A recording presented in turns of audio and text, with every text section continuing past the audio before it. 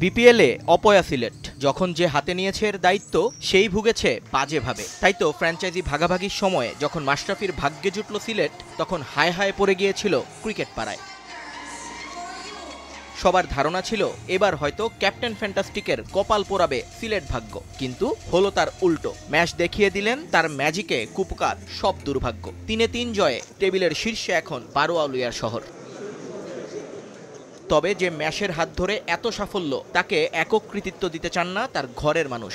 যদিও ম্যাশকে super husband বলতে কোনো দ্বিধাই কাজ করেনি সুমনা হক সুমির মাঝে। এখন তো বলব না যে সুপারম্যান বাট সামথিং ডিফারেন্ট হাজবেন্ডের জায়গা তো আলাদা অবভিয়াসলি সে সুপার হাজবেন্ড বাট আশরাফিকে নিয়ে বলি, তাহলে অন্য প্লেয়ারদের উপর অন্যায় করা হবে। আমার মনে হয় যে একটা জয় কিন্তু একজনের জন্য, না হোল টিমের জন্য।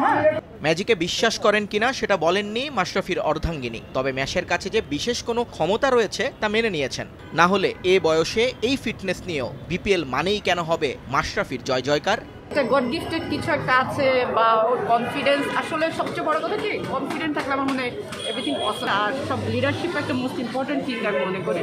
তো সেই জায়গা থেকে বাংলাদেশের দর্শকও যেটা ভাবে, সবাই যেটা ভাবছে।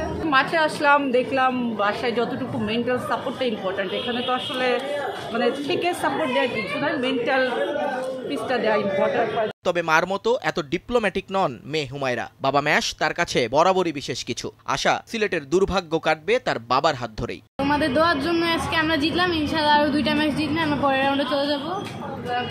তারপর আমি বললাম যে হ্যাঁ আমাদের দোয়া সব সবসময় থাকবে তোমাদের সাথে। তো ইনশাল্লাহ তোমরা এবার জিতবে। পরের ম্যাচে ঢাকা ডোমিনেটর্সের বিপক্ষে লড়বে স্ট্রাইকার্স। নিয়ন মোহাইমিন সময় সংবাদ ঢাকা।